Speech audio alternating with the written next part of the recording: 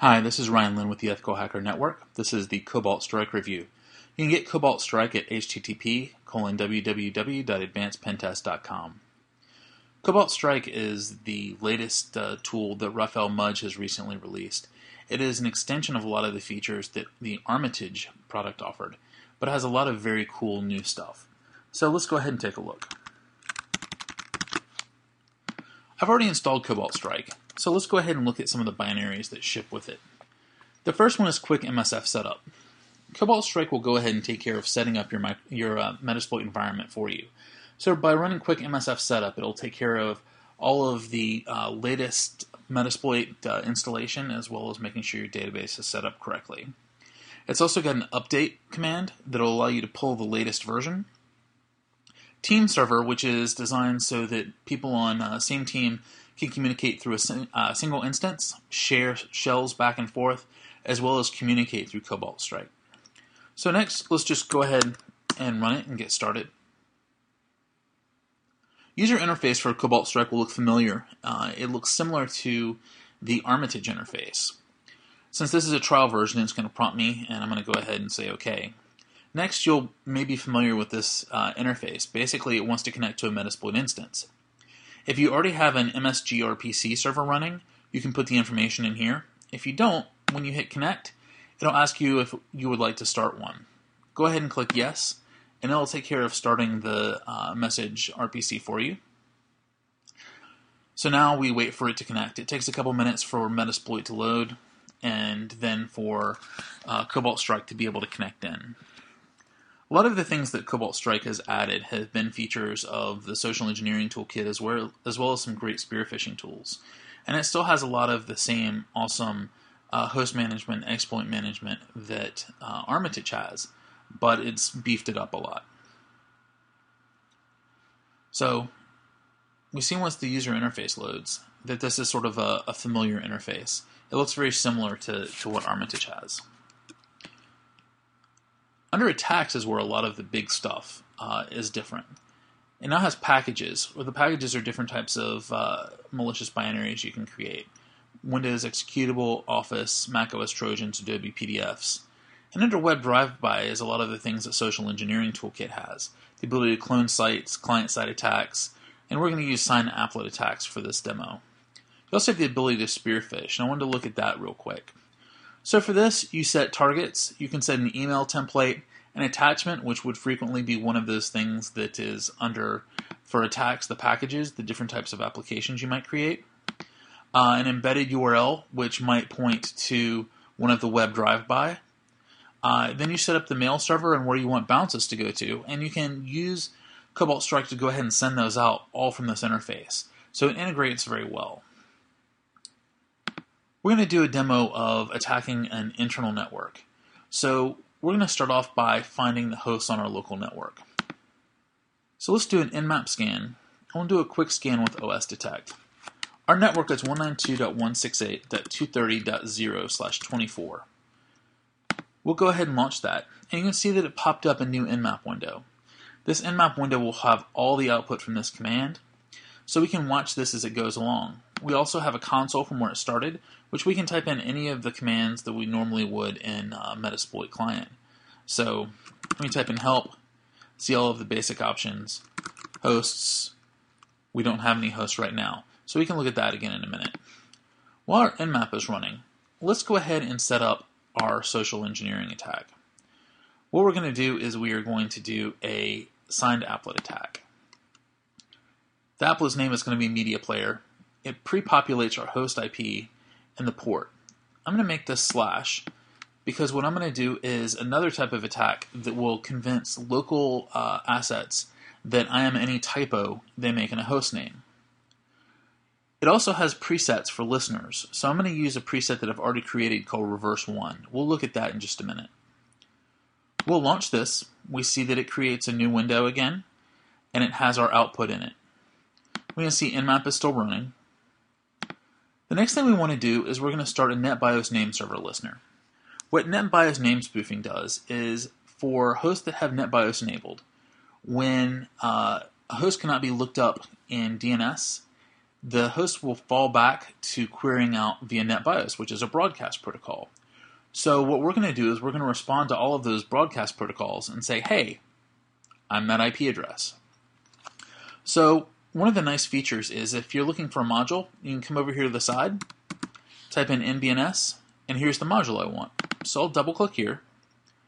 The only thing I have to change for settings is I have to change my IP to this, 192.168.230.10, which is our IP address. And I hit launch. So again, launches a new window. So the next thing we're going to do is we're going to wait for our nmap to finish. We can see that it's finished now. When we click OK, we'll see that it pre-populates hosts.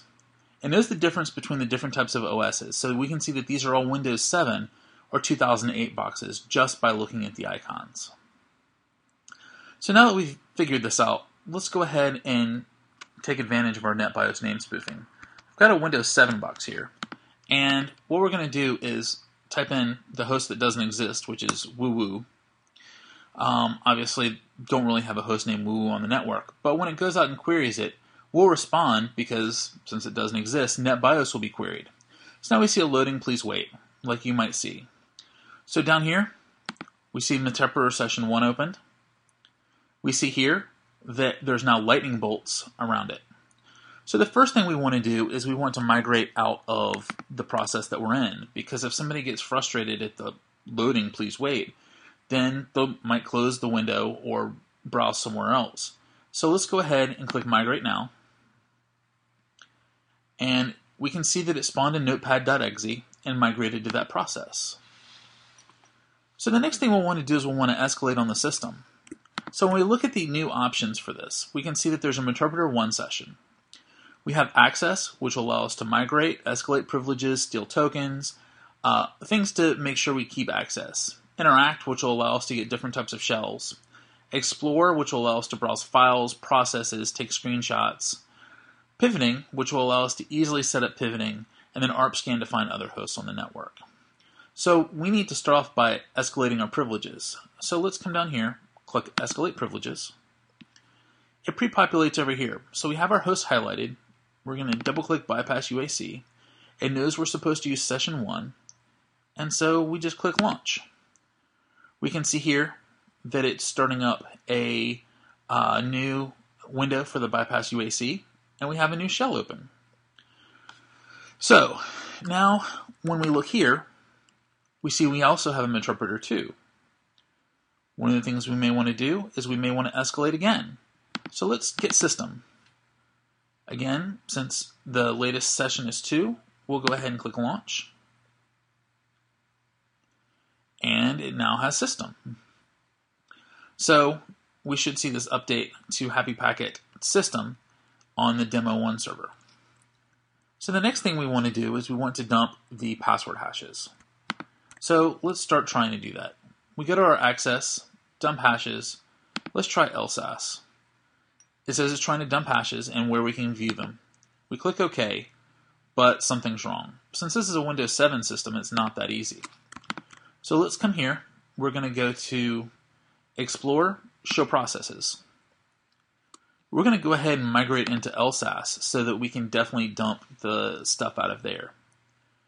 So let's migrate there. It tells us it's migrating to process 508. We click OK migration was successful. So let's try to dump hashes again. Tells us it's trying to dump them again. So we don't see any errors.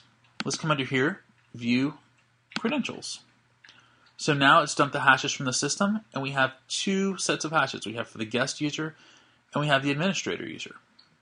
So now that we have hashes, let's highlight all these guys. One of the nice things that we can do is when they're highlighted, we can click Find Attacks. So this will go and figure out all the different types of attacks we may be able to run against these hosts. So now that we have this, we can look at attacks. It knows that they're running Microsoft services, so there's DCOM, you know, possibly Oracle, Samba, but under SMB, we have pass the hash attack. So we can click pass the hash, select the hash that we want, we want to use reverse connection and launch.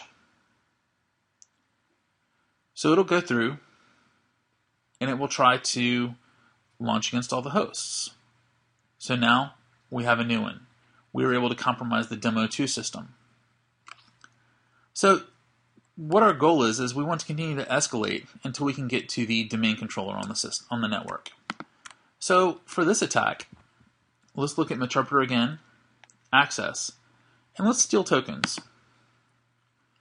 So for here, we can click refresh and it'll show us all of the tokens that it knows about.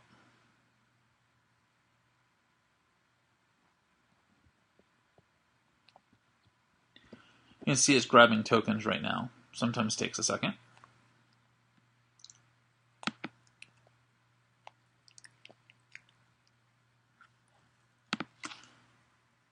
So we see that now there's the demo2x user.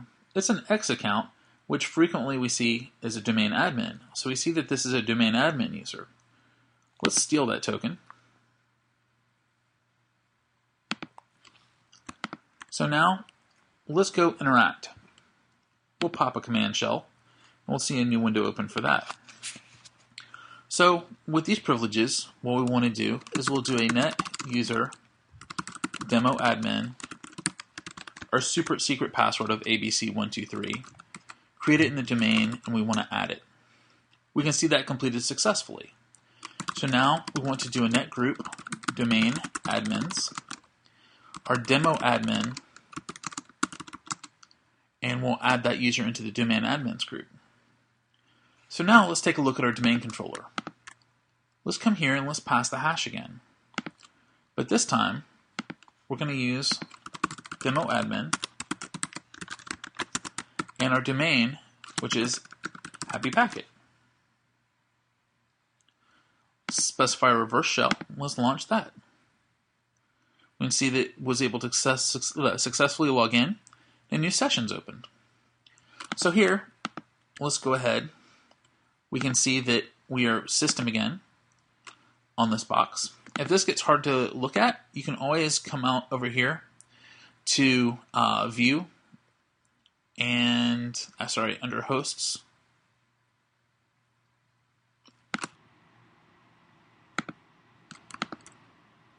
let's move it back to circle where we can see everything so here's our domain controller let's go ahead and try to steal credentials from it we go to access dump hashes Let's try to dump hashes with LSASS. Uh, the registry version won't work because it's domain controller. So it says it's going to try to do it, and it will fail. Reason is Windows 2008 domain controllers, you can't dump the hashes just from any process. So we come back over here again to explore, show processes. And what we want to look for is a system process that we can migrate into that will dump hashes.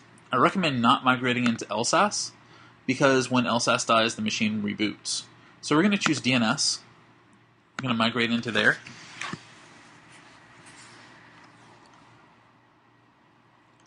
It migrated successfully. We come back again. We go back to our Meterpreter session. Dump hashes again using LSASS.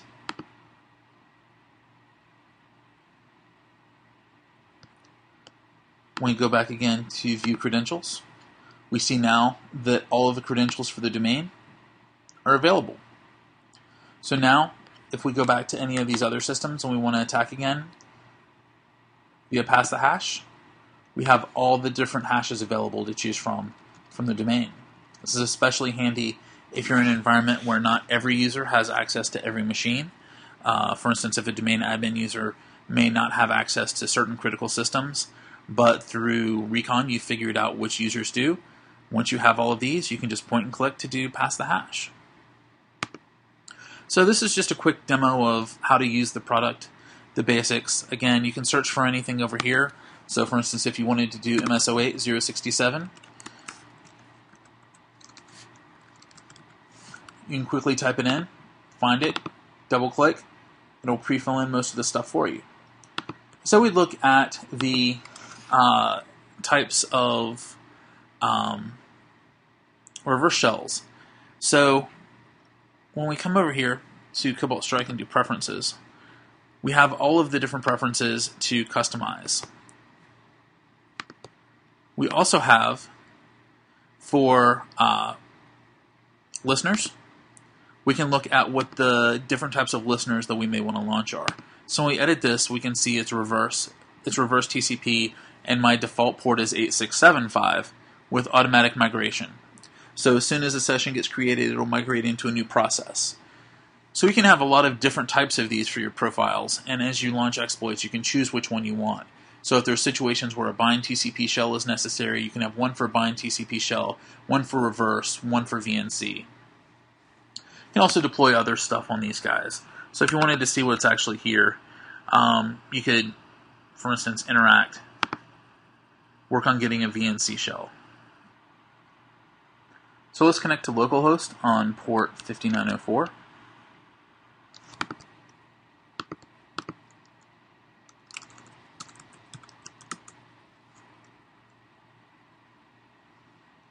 And so now we see our demo.